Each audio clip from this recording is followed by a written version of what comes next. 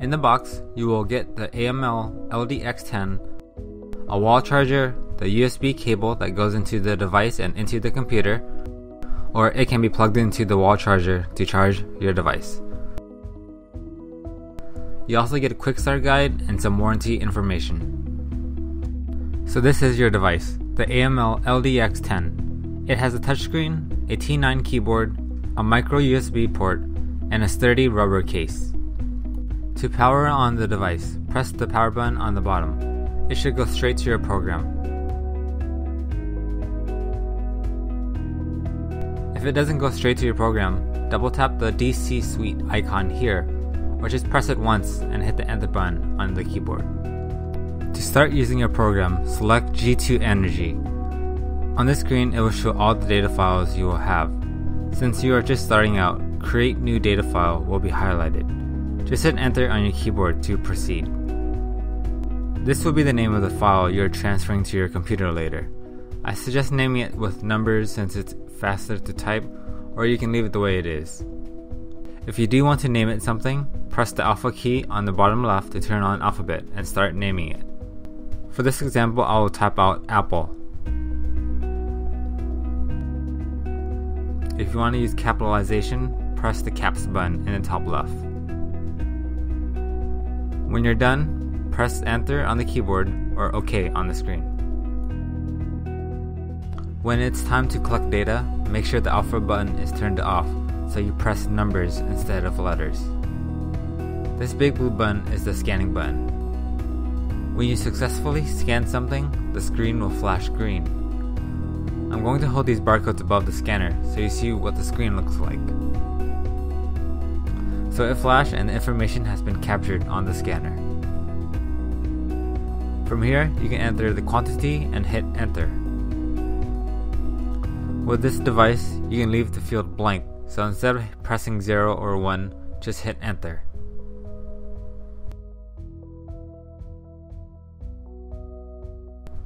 Once an entire record has been completed, you can view that data here.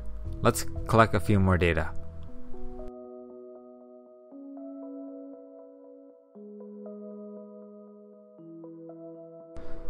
To edit or delete a row of data, tap View on the touchscreen. On the view screen, the information on the bottom left shows which record of the total you're looking at. You can use the arrow keys to navigate your data. When you want to edit or delete something, highlight the row and tap Edit on the, on the touchscreen or press Enter on the keyboard. From here, you can change the data or delete it. Use the arrow keys to navigate around, use the backspace button to remove data, enter new data, and press Enter to go to the next field.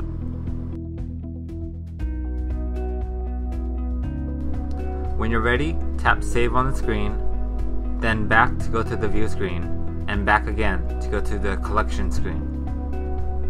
To upload data to your computer, you want to exit out of the program first.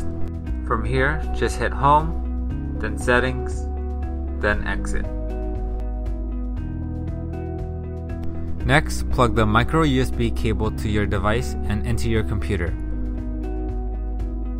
Let Windows install its drivers if it hasn't already. On your computer, open DC Console. Check the video description for the download link if you do not have this program. In DC Console, select the Sync tab and wait a few seconds. On the left side, you will see the data file on your device. If you have multiple data files, you will see more than one here. If you press the bottom arrow, it will transfer all data files to your computer. If you have multiple data files and only want to transfer one specific file, you would select the data file you want and press the top arrow. Anything in the right window will be transferred to your computer. Click the Browse button here to select where you want the data file to be saved. Click Delete Copy Files from Device if you want the data to be deleted after it transfers. Click Do Not Ask to Overwrite Data File if you plan to overwrite your existing data file often. When you're ready, click Fetch. If successful, it should say File Saved here. Find and open your file. It should open in Excel. To get back to your program, select DC Suite and hit Enter or double tap it on the touchscreen. Then to go back to your program, select G2 Energy. If you still have a data file on your device, you can still use it by selecting it again or creating a new file.